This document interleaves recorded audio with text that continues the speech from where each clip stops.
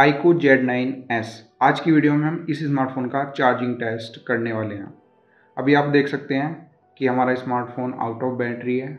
और अगर हम टेम्परेचर की बात करें तो अभी स्मार्टफ़ोन का टेम्परेचर है 29.7 डिग्री और टेबल का टेम्परेचर है 28.4 डिग्री। तो हम यहाँ पर रेगुलर टेम्परेचर भी मॉनिटर करते रहेंगे।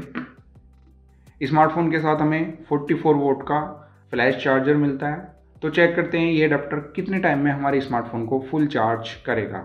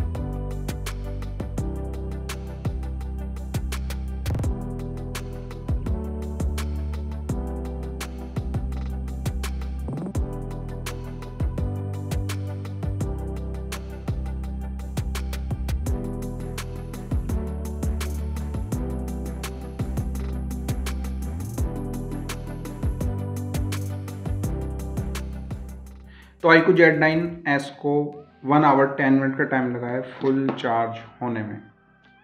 बाकी इस स्मार्टफ़ोन की वीडियो थोड़ी सी लेट हो गई है चैनल पर।